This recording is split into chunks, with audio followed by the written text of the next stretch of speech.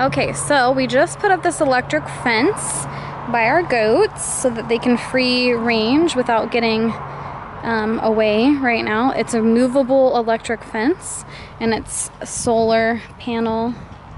It's got a solar solar electricity. Uh, we can move it to whatever part we want to let the goats just do their thing. We can also do it for the chickens if we need to. Um, and this is kind of a temporary fix or possibly a long-term solution. And that's what we're doing right now. Okay, so we got the pen in, or the temporary electric fence. Some of them are being brave to come out. They have gotten a little bit of a shock, so they're a little scared, but um, we have this cool device and we can see how lit up it is.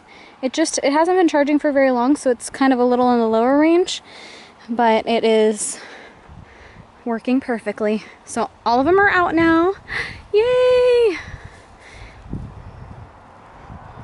And I think they'll be happy to be a little bit more free. So another project bites the dust.